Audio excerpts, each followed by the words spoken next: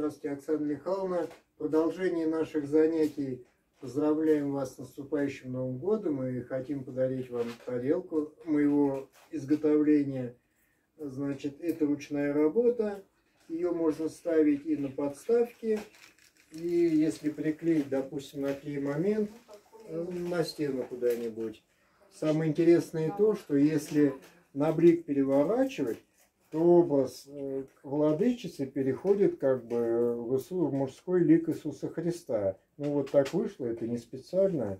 Тарелка была выполнена в творческих муках, можно сказать. Здесь натягивалась деколь вручную, вырезалась, здесь другая, ну, цветы. И, в общем, получилось неплохо. Но это вот вам от меня подарок для знакомства. Вот. Мы продолжаем занятия, продолжаем чаепитие. Всем желаем хорошего настроения, вот, радости. Вот с Божьей помощью все продолжается. И я уверен, что будет все хорошо.